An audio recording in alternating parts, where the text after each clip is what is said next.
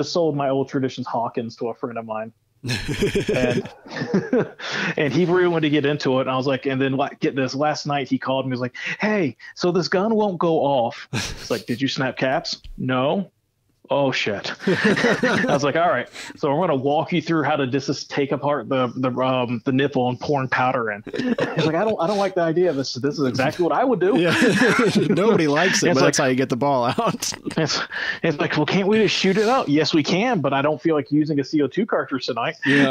I'm not going to use up one. Hi i'm ethan. I love muzzleloading. Today we're talking to my good friend eddie davenport from the north south skirmish association Eddie is their current editor in chief, I think. If that's not his title, that's the one we're giving him uh, for the for the skirmish line, the the NSSA's uh, great magazine that they put out. But uh, Eddie has a great background in, in black powder shooting sports, and uh, we've been talking a lot about uh, his hunting experiences here before the show. So I'm excited to have him on. And uh, Eddie, welcome to the show. thanks for having me on, Ethan. It's a a pleasure to be back on this side again. Last time we spoke, you were still um, doing the other podcast, so it's great to be here. Yeah, yeah, we can stretch our legs a little bit here. I think. yeah, I, don't, um, I guess I still have to be professional on my side, unless oh, I yeah, go off the record. Right? Yeah, we can make this like uh, Eddie after dark. All right, guys, light up your cigarettes and let's go.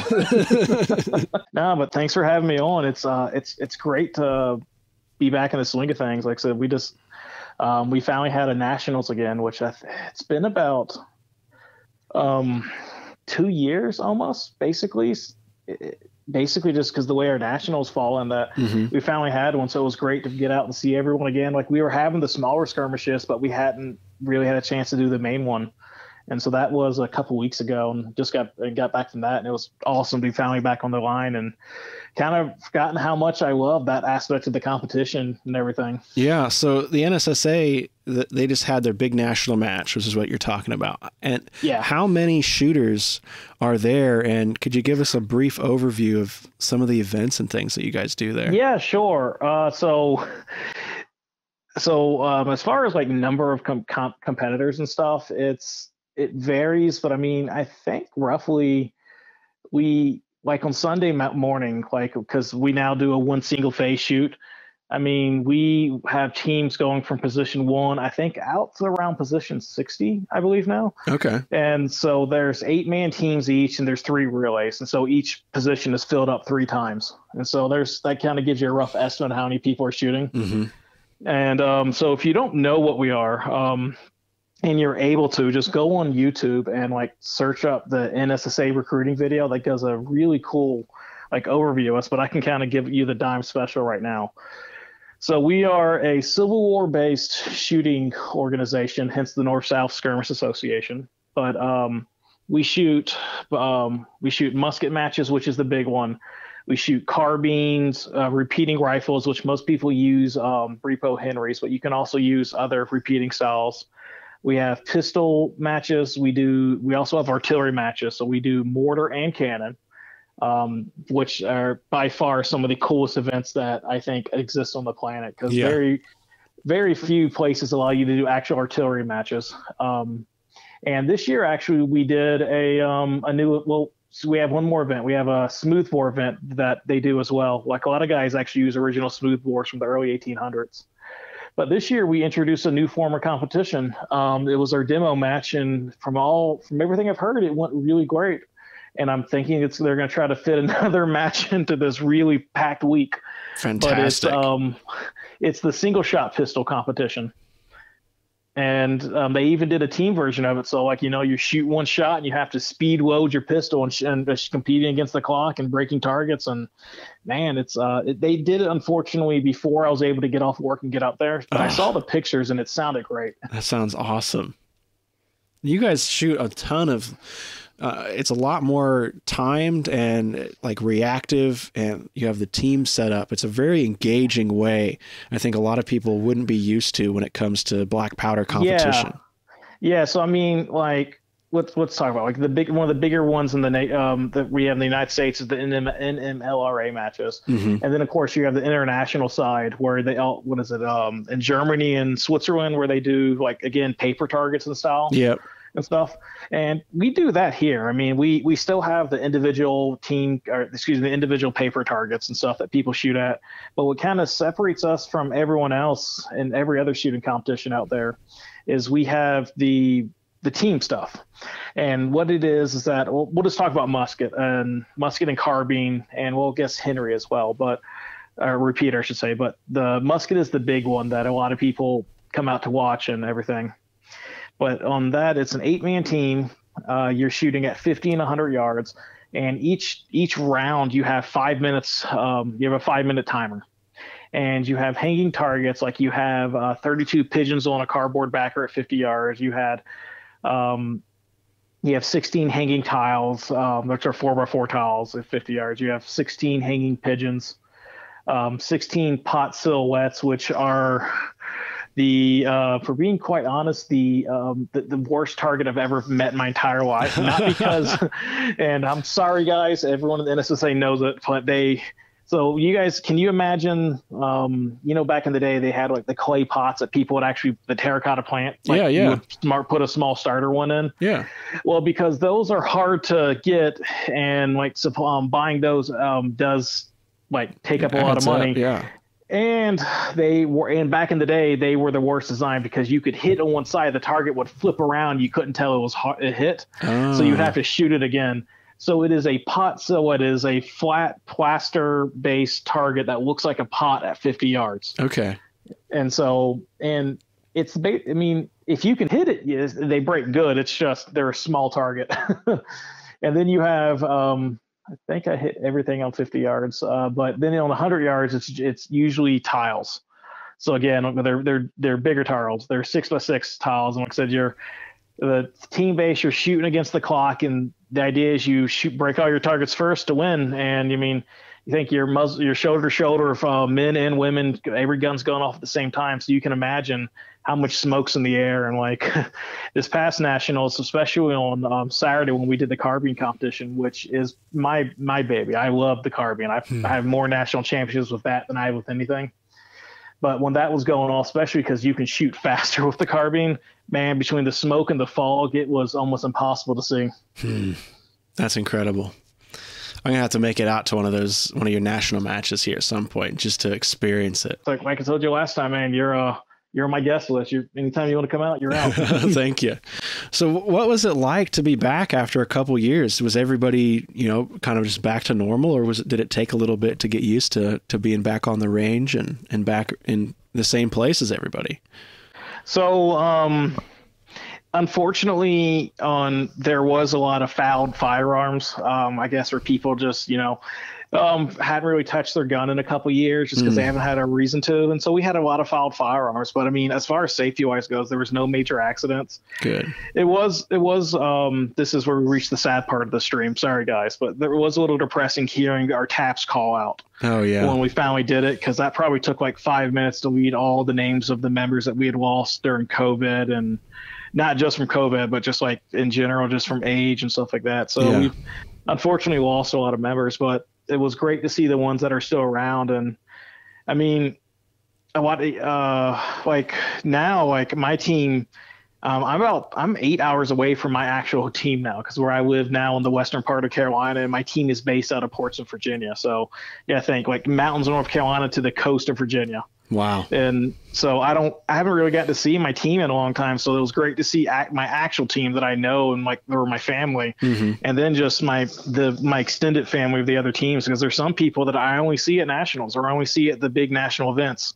Like some of the guys from Wisconsin and Texas and New York and stuff like that. Just, I mean, it's one thing to shoot, see them on Facebook or shoot an email. It's another thing to walk up, shake their hand, say how you doing and stuff like that. Mm, that's great. I'm really glad that you guys got to get out and have that. I mean, it's uh it's been a weird year I think for for Black Powder, but I'm really glad that the big events are are able to get back and and get yeah. going. And I think everybody's been kind of sitting around. There's been a bunch of new people getting muzzleloaders, mm. and they finally had a chance now to kind of join the rest of us out and uh, yeah. enjoying the matches.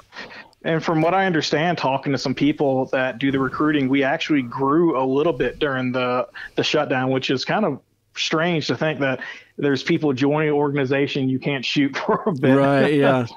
Well, I think. but yeah, uh, we grew during that. It just so happens GoEx made their announcement the day one of the national, so you can imagine the panic buy that set in. Oh no! Yeah, can we talk about that some? Uh, uh, sure, by all means. I think that's kind of like the, the Let's just rip elephant in the room. right yeah, off. let's just jump right in. We're like a few minutes in here. what was that? What was that like for you guys? So, so like, um, just like you, you got the email. I got the email straight from GoEx before like the, you know the media style stuff with my work. I got the email from them, and I immediately shot back an email, and I got a response that day. Going um, like what their hopes and stuff for, which at this point everyone knows they're hoping to sell to another people uh, brand that'll keep them open. But there is one the the peep where you can buy powder up there is Back Creek um, Supplies, which Mhm. is just it's a little place right outside the range because we don't allow the powder to be sold on the range, just for safety purposes. We don't want people keeping a couple kegs of powder in their um their trailer, you know. Yeah. and uh, so I went up there just kind of like everyone else did to buy powder, and I went Saturday, and I'm really glad I did. It uh, and I think it was announced on what a Tuesday, right? I think. I think it was a Monday. Okay, Monday. All right. But I so I got up there Saturday, um, and Saturday was when like I guess the majority of people in the organization was able to finally get out and go get stuff. hmm And um, I bought some stuff then, was able to keep it off site. But it took me an hour and a half to get through the line, and we got up there. Luckily, they did it smart. They limited you to five pounds of GoEx, Yeah. and then from what I understand, that day they limited you to five pounds of anything. Wow. But I mean, it's from they sold out of their entire supply, which I mean, they have a bunker down there. I don't know. I don't want to take a guess how many they have. how they have, but I like if I had to take a guess, it was probably a, like probably a couple hundred, if not more, kegs of powder they keep down there, and they sold out of everything. Wow. So I mean, great business day for them, but it's just sad to think that like we sold that much powder, and then for the time being, um, well, I know like the great people at Swiss are gonna, you know, step up their game and everything and get some stuff going. It, but it's gonna there's gonna vo- there's a void that needs to be filled. Yeah, yeah, for sure. I uh yeah, it's just been kind of a that first week there was just kind of crazy. Um with that new I think I think people are kind of calmed down now from what I've seen. Yeah, I mean, it's not like the it's not like the primer panic where everyone bought like like 10 million primers at yeah, one time. yeah, and I think uh, the the distributors I talked to that week, you know, I, I think by Wednesday they had restricted you to like a, a single pound a day because they didn't want people to people to run on powder. And I, I think Uh-huh. that week the the NMRA also just they they closed down sales, um, just until they got a handle on on what was going Uh-huh. on. And that seemed to be everybody I talked to, pretty much across the country, kind of limited. I, I know there's some small shops out west that I've been told that aren't really feeling affected by it. Um, there's not really people making a run or anything on it. But um, Uh-huh. I know on some of the forums I saw some folks claiming to have, have ordered 50 pounds, but I'm not. I think they were just kind of goofing. I don't know that there were 50 pounds at one, at one distributor to, to buy at once. You know. Yeah, who had 50 pounds of powder laying around? I mean, we had one store in my local area that served, that sold powder, and I was the one that informed them that the GoEx shut down, and the next day they hiked their prices up double. Yeah. I was like, I probably shouldn't have told them you should have bought a couple before. I mean, I've gotten to talk to Aaron at GoX a few times. I mean, mm-hmm. the man shoots straight. He's very friendly. He's very approachable. And if he says like that's their plan, I try. I take him the man at his word. He's never he's never given me a reason not to believe him. You know. Yeah. I think that's really great, especially if you've if you've dealt with him, you know, over the years. I think this was probably one of a couple interactions I've ever had with him, um, and I, I took him to be the same way. A lot of people, I think, were pretty set in what they thought before they went into um, kind of hearing what they had to say. Um, even in my interview too with him, um, you know, which I understand. There's a lot of it's it's frustrating to hear this, but I, I'm hopeful and I'm I'm thinking positive on it. I think Yeah. right now I, I've got to be positive about it because I, I really don't want it to be negative. Yeah, I mean, I'm just like everyone else. I'm scared. Like, like it's hard not to be to think Yeah. that like the the powder supply because. I mean, black powder this past year, well, during well during COVID, I think black powder just exploded in popularity, Mhm. And like more states have picked it up. And I granted, now granted, a lot of that is modern inline stuff. Um, but I mean, Blackhorn Blackhorn 209 is still hard to find, and people just if they panic buy black powder, they'll panic buy everything else too. Mm-hmm. That was the the thing that really surprised me about it is when I saw Hodgdon buy Blackhorn 209, I thought, okay, wow. Um, I mean, I, I, understand the the monopoly concerns and things, um, but I was I was again trying to be optimistic about it. And I thought, wow, these guys are really making a play here for continuing muzzleloading and, and black powder hunting and shooting. They've got the big brands in their pocket now. And Hodgdon's, you know, I think I said it in a video once, like Hodgdon is saying, like, look, we're here to support muzzleloading.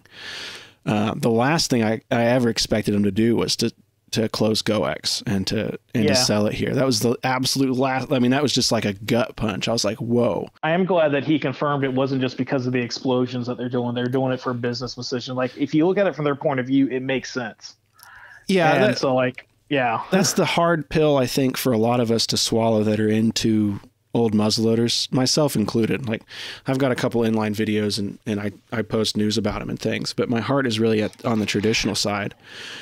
Um, but for for these big companies when they're looking at numbers and charts and graphs and meetings and whatever business guys look at you know they're they're seeing the massive growth potential that is there with muzzleloader hunting. And uh, that growth isn't necessarily with the traditional side of things. Now my you know, and stop me if i'm rambling here but um, from what i see when it comes to inline stuff i've talked to hundreds and hundreds of muzzleloading enthusiasts and hunters that started with an inline and are now you know, two years, five years, maybe 10 years into muzzleloading and they're going back in time and they're going mm-hmm. back to the percussion and they're going back to, you know, caplock muzzleloader or um, revolvers. And then they're going back to flintlocks and they're going back, you know, to dog locks and sometimes even farther, you know, to get to that challenge that they first felt when they, they picked up a new, with their first muzzleloader, regardless mm-hmm. of it being an inline, you know, they still kind of traveled back in time. And I, I think that there's a lot of people out there that, do that over the course of their, their time with muzzleloaders. So as much of a, I mean, a kick in the yeah. teeth it is, is, I think it's still, there's still potential there for us. And I think it's good. I mean, I think that right there, it speaks a lot to like, um, hunters in general. Like, I mean, a lot of us, we enjoy the challenge. It's mm-hmm.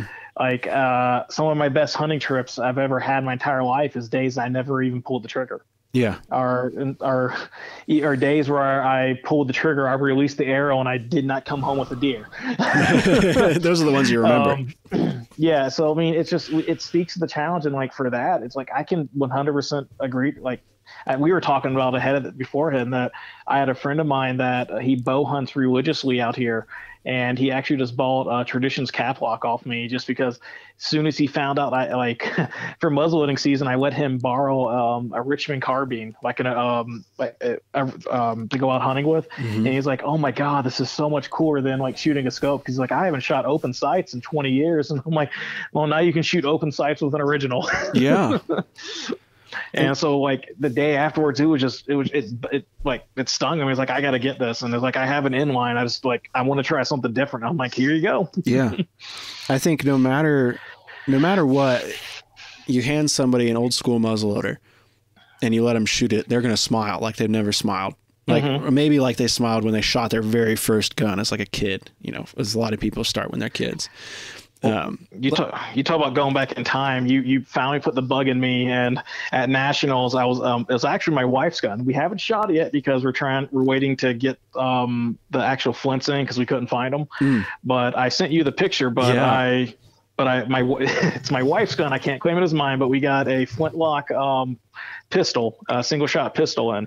And so I found that's my actually my first flintlock I've ever owned as many years as I've been doing this. Cause um, I know Ethan knows this, but if you don't guys, like I, I'm 34 and I was born into the organization. I, I, I was born literally during the first um, national, my uh, nationals. And I, and like I said, my first shoot was at two weeks old. So I say, when I say black powder's in my veins, it's in it's my there. veins. so I was like, that was like, and I'm just, man, we're itching to shoot this thing because I got my, I got myself a little pistol target set up in the backyard, and I was nice. like, I'm waiting to like let that thing fly. I've been, it's been really nice here on the weekends, nice and cool, and I've been cleaning up my range and adding some things to it. I'm really excited to keep shooting, keep adding stuff to it. Trying Mine's to just get a that, pistol range, unfortunately, but yeah. I've got uh, I can stretch out to 100 yards and then if I back up, I can get out to 2, which is about Nice. all about all I need. That's kind of like when I grew up. When I was living at my parents' place growing up, we could we technically had a, a 50 yard range, but I just had to stand two feet off the highway. Had to stand in the ditch. yeah, just shooting down and shooting down the sidewalk. Just tell everyone, all right, you cannot walk outside right now. Safety first at, uh, at Eddie's Eddie's home. look, man, I, look, man, I it, it, it, you did what you had to do. Okay. Yep, you, when you got to you shoot, you got to shoot.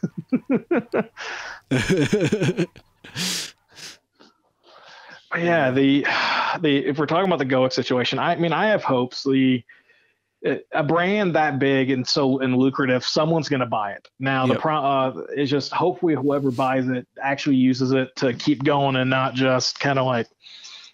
I don't know how they could buy it and not keep it going, but I just hope whoever does it knows what they're doing or is passionate enough to want to learn what they're doing. Yeah, I think 'Cause- as as as good as Hodgdon was with it, I think you know similar to some of the other companies we've been kind of talking about. There's a lot that can be done to reach more people, Mm-hmm. and uh, like Swiss, for example, I was at a I was at a chunk match this weekend, and Swiss sponsored a case of powder for the for the match, and there were only like 40 45 people at this match, but that kind of Mhm. grassroots involvement from Swiss and Swiss and Schuetzen is just fantastic. I mean, they they know that their shooters need their supplies, and I mean, you can at that match. Odds are you're going to win enough powder to make up for the powder that you shot for that match. It's only ten shots, you know. So you're you're very easily walking away with a net gain on your supplies.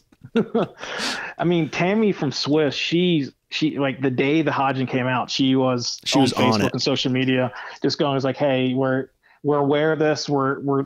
She's not saying what they're going to do, but they're going to take care of things. And like, I Mhm. was able to speak to her briefly. I mean, just through the NSSA stuff, just talking on that, and we we spoke about it. And again, you know, not not trying to put words in their mouth, but they said that they're gonna they're gonna help. They're gonna do something to fill the void. Yeah, Now, what does that mean in practice? We don't know yet. But then again, these things take time. They're yeah, I think they're based out of Europe, and so it, even if they do take over, even if they do move into America, it's just going to take some time. Or if they buy GoEx, like we don't know, but Yeah. we know that the black powder is still going to be here.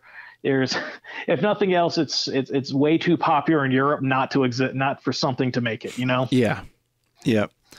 I, I'm hoping that the the growth we've seen the last couple years that there's enough in the traditional side of things that um, that somebody can step in and and you know I love Swiss and Schuetzen powder. That's what I my family shot in our match guns for years. As long as I've been alive, we've shot Swiss and Schuetzen in the match in the match guns. But I think that in, in my I always argument, knew you were you were refined and Oh upscale. yeah, I am. This is a high culture show here, Eddie. I don't know. I'm wearing my blazer. I've got a nice drink. I've got some tea here. And us redneck hillbilly folks were shooting the GoEx 2F.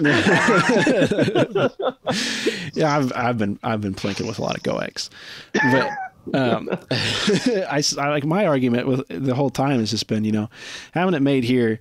As much as I love the imported powder, having it made here I think is really important, and I think I, I mentioned that in my first uh, article I published about it. Like this would be the first time in American history that we weren't making powder here.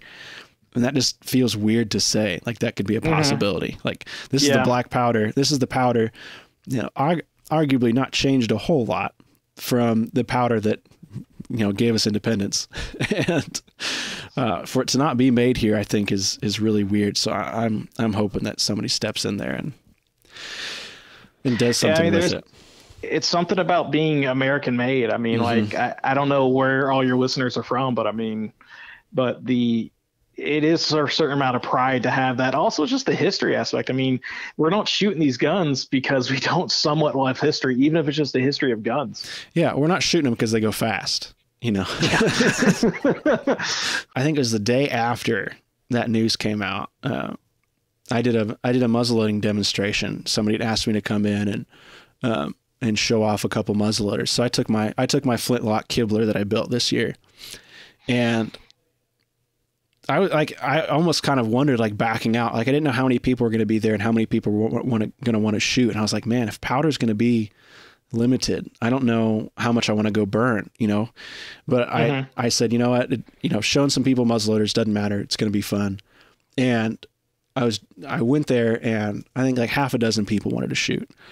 But the smile that each one of them had after they shot that flintlock for the first time. Some of them, it was the first gun they'd ever shot, and uh, for everybody, it was the first muzzle they'd ever shot. But all of those smiles made it very worth it. Like I was, I was bummed going into that, thinking like, man, this is kind of this is kind of like a swan song maybe for for muzzleloading and black powder here. Um, but I left that like, okay, we we cannot be down in the dumps about this. This is too important. This makes too many people smile just to give mm-hmm. up and lament, you know, something that's dying. It's just not going to happen. I'm not going to I'm not going to give up yet. I uh, I volunteer as an assistant scoutmaster for the Boy Scouts of America, and a couple years ago, I got I took on my old troop uh, that I was used to be involved in uh, at summer camp. I, I talked to the, the the guys there in the shooting range I was friends with, and and I was like, "Hey, can I bring up muzzleloaders?" And we do a night one night, and I was like, "Yeah." So like each of the kids, like there's adults and kids get to shoot muzzleloaders for the first time, and and most of the stuff I brought up was originals. Mm-hmm. And so not only are they shooting a like a muzzleloader, they're shooting originals off a bench and everything, and each one of those kids was just beaming. and some of those kids, it was the first time they ever fired a gun in their life, and nope, we're not starting off at 22. We're going to a 58 caliber, boys. we're going to the big one. This podcast is brought to you by Thor Bullets. Thor Bullets are a premium full bore muzzleloader bullet designed specifically for modern inline rifles. Thor bullets do not require plastic sabots or belts to be fired, meaning less cleaning for you between shots.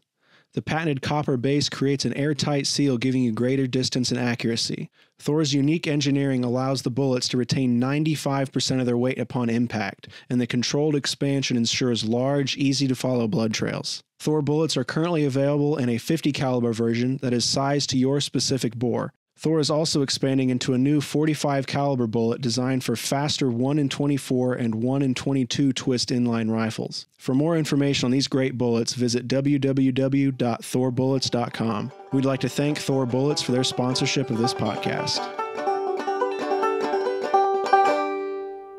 Uh, so yeah, I mean, you're talking about like actual powder concerns. It's so you'll get a kick out of this. As many years as I've been doing black um, black powder um, and everything, and all the championships and stuff.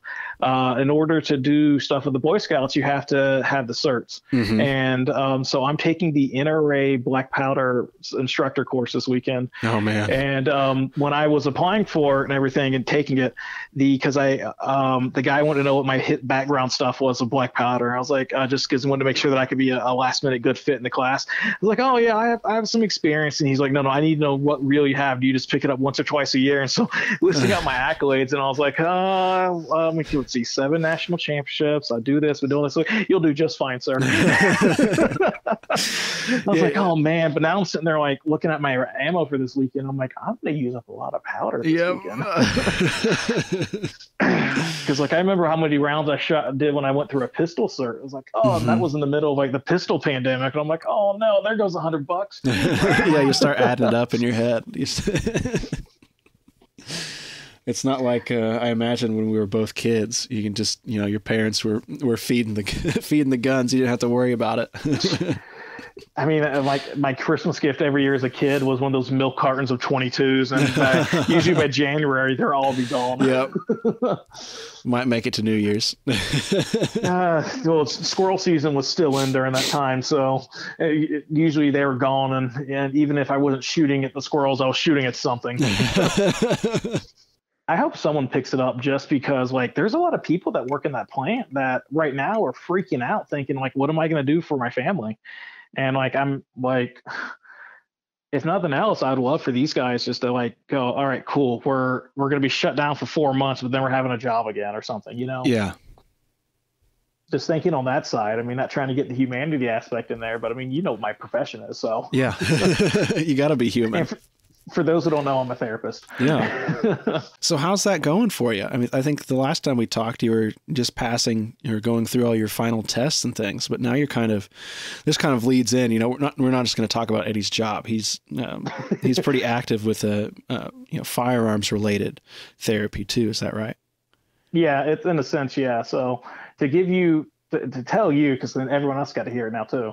Um, yeah, the that aspect is going great. Um, the all my licensures are complete now, so I have two licenses, um, and uh, basically it means I, I'm good to do therapy for the head, and I also do drug rehab therapy. Okay. So that all that stuff is going good. And the other thing he's talking about is I, sh- I help out with an organization called Walk the Talk America, which our mission is the intersection of guns and mental health. And it was started by two gentlemen, um, Jake Wiskerchen and Michael Sodini. And Mike is a um, the former CEO of Eagle Import. So he was born into it, uh, the gun community, and Jake is a family therapist, which owns his own practice and also has a lot of accolades on his own side. And out in Nevada, he always, and I know what I said that wrong. Uh, Nevada, Nevada. Anyways, but um, anyway, so the mission with that is the, we do a lot of training and stuff with mental health therapists to understand um, gun culture in a sense, so that way, and also trying to break down the barriers and the the stuff. So gun like gun enthusiasts and people who use guns for a living, you know, like cop security guards, and even people who don't like, you know, paramedics and stuff. My background was fire EMS, so that's where I'm passionate about. Is mm-hmm. like the people who, when you come out and you talk about it because you need help, you can be detrimental to your job, and that is true in some cases. Now we're trying to change that culture, but it's still there. Yeah. But the idea of it is that we train actual therapists to be competent in those fields. So they know they can at least find out what gun culture is. They can learn more about these first responder roles. And it is it, it's heart, It's a suicide like prevention organization mm-hmm. um, because uh, this is the I guess this is the sad part of the podcast again. Mm-hmm. But uh, um, while um, firearms aren't the most popular choice for suicides, they are the most lethal, as would one would suspect. And uh, so that's the idea behind that. And that's, I mean, it's a passion of mine. The I kind of found my niche out there in the world. I mean, I there I'm, there's more there's more mental health therapists out there that are pro gun that have kind of like come out of the closet per se to steal the line from another um, community. But in but it is definitely a field where you talk about your passion for guns, and some people do look at you a little strange at times. Yeah. But I mean, I, I was very open about it when I was going through school because I mean, this is who I am. Like, I love guns and I love helping people. And so, like, kind of just found the niche of might as well just embrace that about myself. yeah.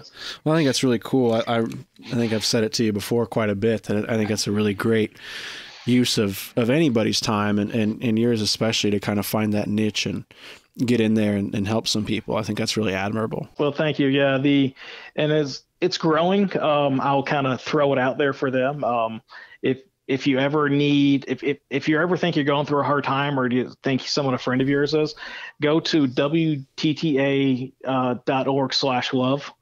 And it's a free and anonymous mental health screening that is done through one of the so sponsoring agencies, um, which is Mental Health America, and all it does is just ask you some um, some questions, and it and it doesn't diagnose you, but it lets you know like, hey, you're you're meeting all the science for this. Would you like to be connected to a gun cultural competent therapist? Hmm. And if hmm. you answer yes, it'll put you in touch with someone in your state.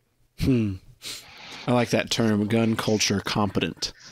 Yeah, I mean it's the truth. I mean, as um, therapist, um, my uh, as therapists and everything, you, we are supposed to be culturally competent to everything. I mean, and uh, well, I'll put it this way: I'm I'm white, and so I don't I don't know what it's like to grow up in an African American house. I don't know what it's like to grow up in LGBTQ com- um, community. I know what it's like to grow up in my household, mm-hmm. and so to be understand someone else's to know at least get a glimpse of someone else's background to be ever to better help them we take cultural competence classes in grad school and everything. So you start to learn other cultures. well, gun culture is a thing too. I mean, just uh, I mean, look on Instagram or look on Facebook one day. Mm-hmm. I mean, and muzzleloading is its own culture too. But I mean, it, we're all encompassing gun culture, so we need to understand what it's like, and we teach people that thing. We we teach them what gun culture is, and it's not this big scary beast to be scared of. It's it's normal everyday Americans who just love maybe recreational shooting or love hunting or anything. I mean, the biggest thing that I always like to teach people is that my big thing for therapy is mindfulness. Hmm. And that is the being competent of what you're putting out into the world and being confident that your mind can be applied to those things. And so what I the same principles that I teach my clients and my patients to apply mindfulness to their everyday practice and their everyday life to overcome any number of problems, you can also apply to shooting a firearm because the same disciplines it takes to have a normal, confident, healthy life is the same discipline it takes to fire that gun and hit the 10x. Hmm. I think that's pretty cool. well, thanks. Yeah.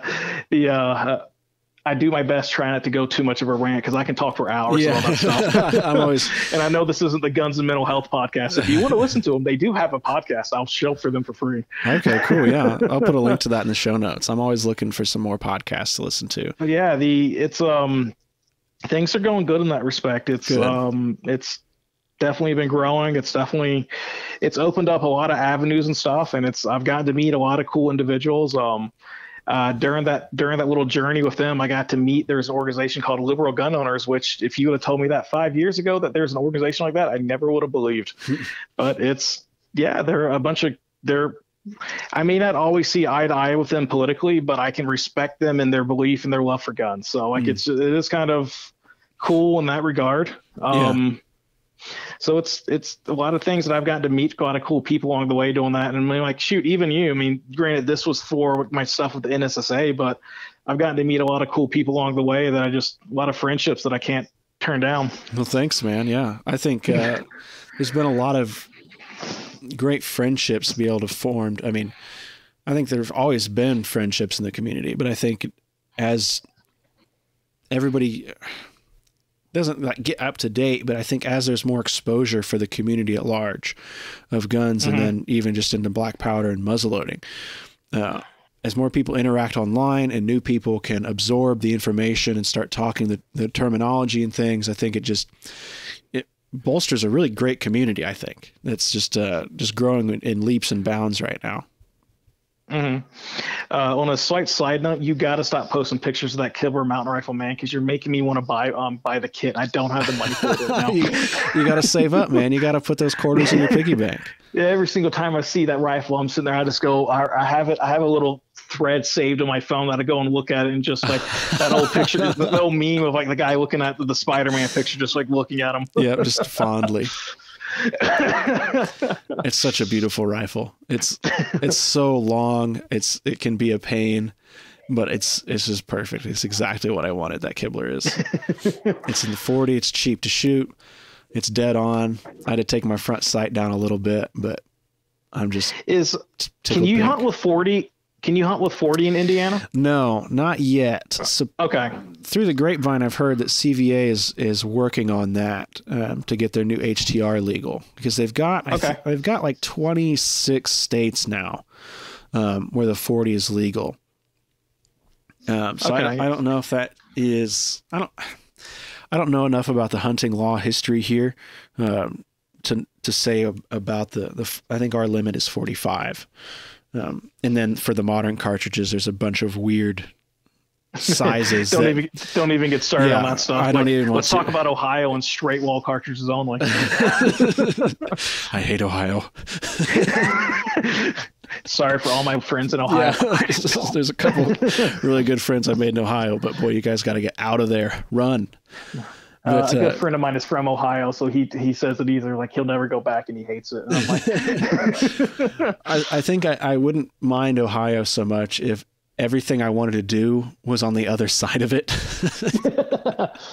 well, I'm going to be going up there later this year up to the Great Lakes side, so I'm going up to the better side of it, but it's okay, still yeah. so far north. Yeah. Nothing wrong with northern states, but oh, like why is it so Midwesty? Ouch. that one hurts right in my ope. I wanted to kind of, I'm going to steer back. We're going to go back a couple minutes here talking about um, different people's viewpoints on guns because yeah, sure. I know the, I know several of the folks that I was uh, demonstrating my flintlock to uh, weren't necessarily pro gun or anti gun. They just never been around them at all. Um, and I want to posit this theory to you, and you let me know what you think because we're just kind of shooting the breeze here. But I think muzzleloaders and black powder serve as the purpose, the perfect introduction for anybody into firearms and shooting sports in general because of their simplicity, because of their design, and because of the history associated with them.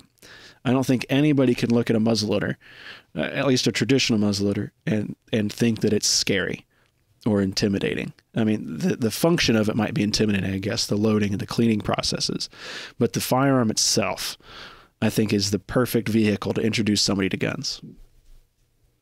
Yeah, that's. I think you've floated that theory a few times on your podcast, and yeah, I would have to agree. I mean, like a lot of people look at it as like, okay, you start off with 22, then you go to like, um, like a shotgun, and you go to a rifle, or you go to an AR or something like that. Mm-hmm. But I mean, I mean, my wife, I started her out on a muzzleloader, um, and she loved it. and the, but like like the the actions of it too is like you look at it this way it's like why do you give a kid a bolt action 22 first versus an uh, semi-automatic because it forces them to slow down and understand the safety aspects. Yep. Well, muzzleloader is perfect for that because every single step there's has to be intentionality behind what you're doing and the safety behind it. And it, if nothing else, it's the intimacy of hey, we're doing the powder, right? Here's the ball, or here's the the, the round or the bullet or whatever you're doing and then you just you're loading it down and like all right now you're capping it or you're putting the primer or whatever you're doing and or if it's a flintlock you're you're, you're priming the pan and then like you're you know the shot i mean the smoke the powder the boom and then it's back to that again it's just yeah it there it slows them down it gets the process and i mean it let's be honest, they don't kick that hard. No. I mean, so you can like, especially with black powder. I mean, you can less lower the charge out till it's barely a mouse fart. yeah and like I mean, it's just it's the perfect gun for them because it slows it down. They, I don't think I've ever seen anyone shoot a black powder gun like especially at least a traditional a traditional black powder gun that didn't have a smile on their face. Mm-hmm. They may walk away going, I still don't know about I don't know if I like guns, but man, that was fun. Yeah. you have the you have the little explosions, you have the smoke, the bang. It doesn't. I mean, that was I think the number one question I received doing that demo was, is it is it going to kick? Is it going to hurt? You know, and I had, I was, there's, it's a 40 caliber and I loaded, you know, just under 40 grains cause they were just shooting at a wood pile, you know, just to shoot. Okay. And, uh, I mean, everybody said that doesn't, that didn't hurt at all. yeah. it doesn't have to, you know, it yeah. Can, it can just be fun.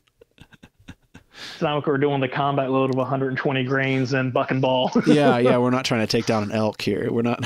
we're grizzly bear.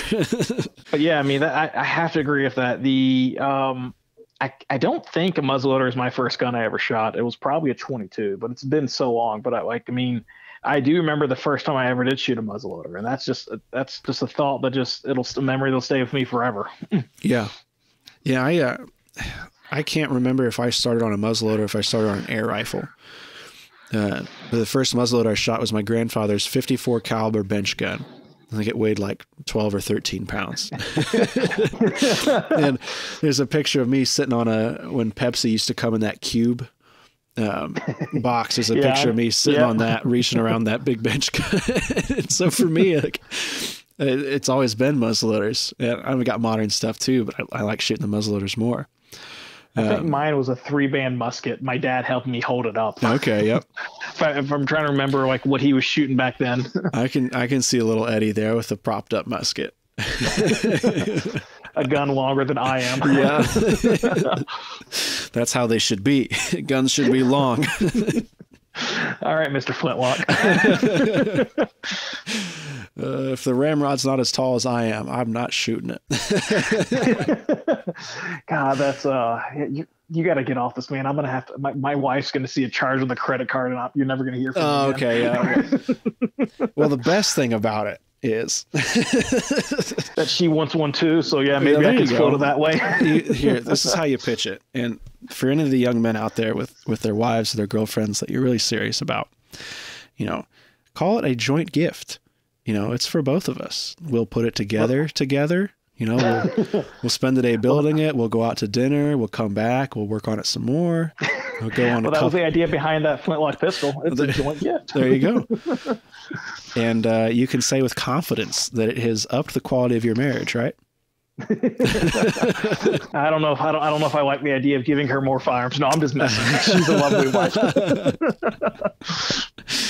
I, I'm I'm very blessed as well. Uh, my wife is very very gung ho about it and very supportive. I've got to I've got to get her behind a few here soon though. She's itching to itching to shoot some more. You need to bring her on one day as like the uh, female's perspective and uh, like the shooting world. I mean, because the I know there's um we have a couple uh, a number of ladies that shoot in the organization, Mhm. um, but if you look at it for so long, it's always been a good old boys club, and Yeah. Women are one of the fastest growing demographics in like the shooting world, and and like some pieces just like they like to jump aboard that and t- do talking points, but let's just get beyond that and just like, hey, that's awesome that more people are enjoying shooting and and not even just shooting in general, but there's like um, if I go into like um, different stores and stuff right before muzzleloading season, you can see people from all different creeds and walks of life looking at buying the firearm and for like and like who cares if it's just a modern inline or if, or if it's or if it's like the cheap Walmart special. At the end of the day they're buying something that's like it's going to put that little spark in them that's going to get them behind like just enjoying the culture enjoying the firearm. And if it goes bang and they enjoy it. Who cares what they're shooting? Hmm Yeah, if they're out there, you know, exercising the good old Second Amendment there and having fun in a, in a safe manner, it's you can't argue with that. I don't think. yeah well is there anything else that we need to rip a band-aid off or talk about i mean it's I don't know. been a good chat i mean Yeah, this I- has been thank you for having me on yeah, dude. Anytime. I think it'd be really great to to do a few of these if you're if you're ever game for it. yeah Just kind of Let a casual, you know, catching up and Yeah. seeing what's going on. let me um plug the nssa one more time Yeah, yeah. Go ahead and do your do your So- plugs and Yeah, so um, for anyone who's interested in learning more about the North South Skirmish Association, you can go to um, w, uh, nssa.org. And if you want to look at the magazine, I do um, host the magazine online for free on the website, and you can go down there and take a look. And if you're old school and you want to do like an actual printed copy, I do do printed. I, I we do offer printed copies um, for non-members just email me and I'll get you in touch with everything. And my email is very simple. It's nssa editor at gmail.com. And if anyone who's interested in like submitting any type of history articles or shooting articles or anything, um, hit me up. I'll gladly feature you and stuff like that. We can work around like um, if you talk to me, we can kind of talk in the background of what that means and what you get from it and everything. And if anyone's ever interested in come out to a shoot, uh, our main nationals are at Winchester, Virginia, but we also there's there's shoots all across basically it, it, the the Civil War states, you know, from Texas to New York and all across the Midwest and everything, and all the South. And so there's teams everywhere. There's shoots that happen all the time, and like I said, if you're there's something for everyone. I mean, if you enjoy that Civil War aspect shooting, there's that. There's artillery matches. If that's not your thing, but you really love like the dress, the clothing aspect of that stuff, we have uh we have the dress committee where they do actual dress competitions, and then like the um and not like dressing like that, like a flowy dress, which is part of the competition. But I'm talking about clothing competitions in general. And so like the there's the people that do that style stuff, and there's I mean there's everything. And it's just it's just a good family atmosphere. There's it's like if you're a family person, it's a safe place for your kids. It's a cool place to hang out. If you don't have kids like us and just want to come out and hang out with people, I mean it's it's a great organization to be a part of, and it's something that's I was raised in, and I'm very proud to say I'm now like I work for. Yeah, I think that's a that's a great story. I think that if you're out there and you're not spending your 20s and 30s shooting black powder, you really need to re- rethink what you're doing with your life. Yeah, rethink your priorities, man. What, what are you doing? this episode uh, is rethinking your priorities with Eddie Davenport.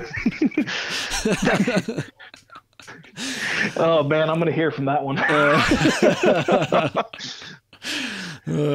oh man, this has been great. If um, I'll gladly come back on and do stuff. I, yeah, man, this is great.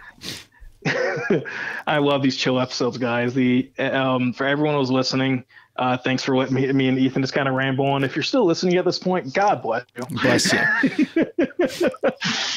you know what? Get in touch with Eddie. He's going to send you some money for listening because this has been. Yeah, by way of Ethan. not to not to pull you back in here, but I think it's really neat that they have a the NSSA has a dress committee. I think that. Uh, oh yeah. I think that's the neat thing about muzzleloaders that I mean, all the modern guys they have all their gear and, and their clothes that they they play dress up in, you know. But I think when it comes to when it comes to dressing and, and you know the historic accuracy of the clothing and things, I think muzzleloading has the coolest.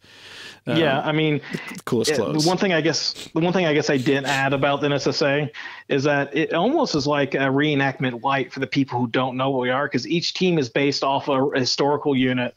Um, historical in quotation marks because there's a couple teams that didn't like are based on things that didn't actually exist. They're mm. just cool theories, but like I'll throw mine out there. We're I'm, i shoot with the Dismal Swamp Rangers, which is Company A, Third Virginia Dismal Swamp Ranger. I love that and, name. Yeah, we are the Swamp Rats.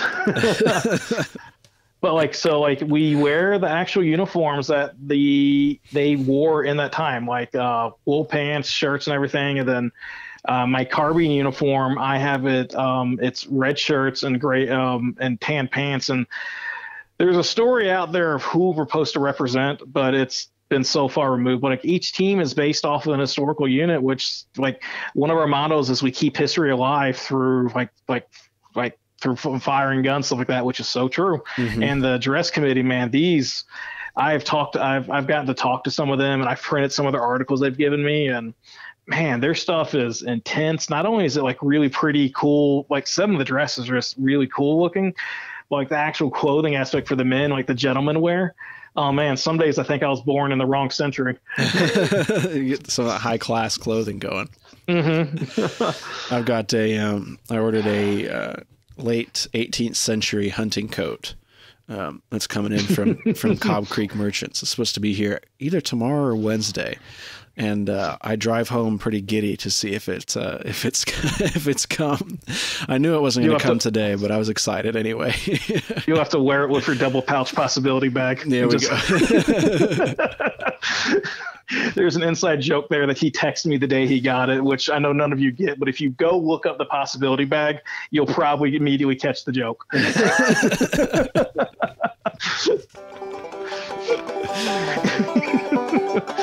I'd